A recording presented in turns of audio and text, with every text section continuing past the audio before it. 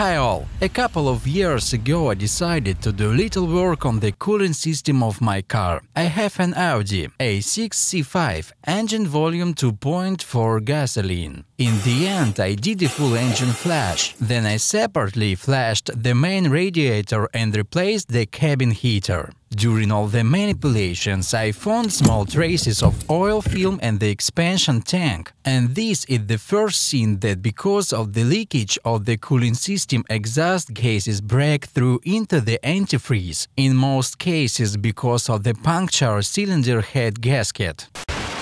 You can determine the presence of exhaust gases in the antifreeze. You can use special kits to check the leakage of CO2, carbon dioxide.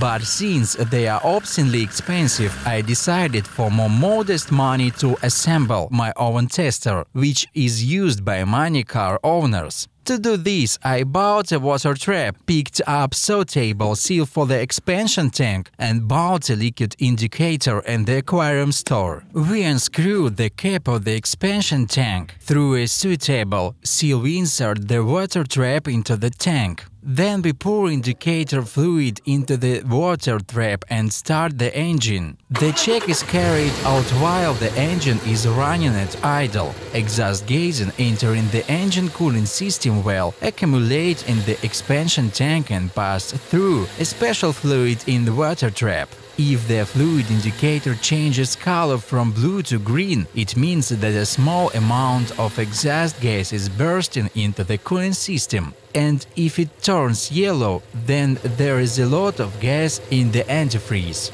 Those who have carried out such tests tell us that the fluid begins to change color after just one minute of engine operation. In my case, after a minute and then after 5 minutes nothing changed. I warmed up the engine to operation temperature during the test and periodically increased the idle speed.